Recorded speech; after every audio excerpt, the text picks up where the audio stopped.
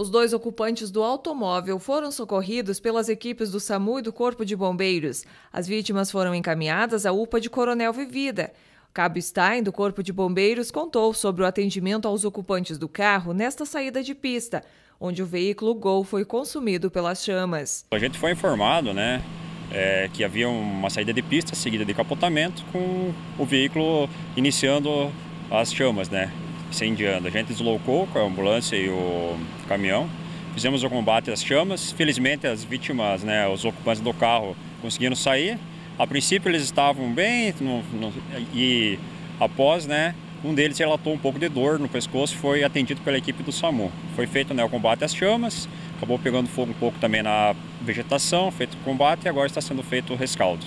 Agora, qual era o sentido que eles seguiam da pista? Sentido Mangueirinha, Coronel Vivida? Como que era? E o que eles chegaram a comentar? O que pode ter acontecido aqui? Eles comentaram que eles estavam indo a Pato Branco. Eles são estudantes de psicologia, eu acho, estavam indo para a Unidep em Pato Branco. O carro capotou da BR-373 em Coronel Vivida, rodovia sentido ao município de Mangueirinha, próximo das 13 horas desta quarta-feira.